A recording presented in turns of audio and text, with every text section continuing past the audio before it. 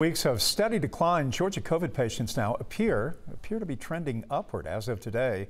Around 930 people have the virus and are being treated in hospitals. For perspective, that represents 6% of all patients statewide today, which is a 1% increase since a week ago. But overall, COVID-19 cases are plateauing. Today we have just over 900 new cases. That is lower than the weekly average, which sits close to the 1100 range right now. And while we are seeing lower figures each day, death is linked to COVID 19. It is remaining a concern. Since yesterday, at least nine more Georgians have lost their lives to the virus. More than 25,000 have died overall.